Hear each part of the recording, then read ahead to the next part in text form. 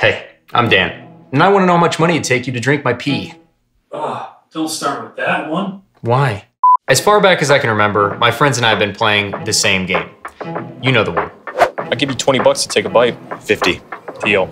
So we took the conversations you're already having and turned it into a game. It's called Pricetitution.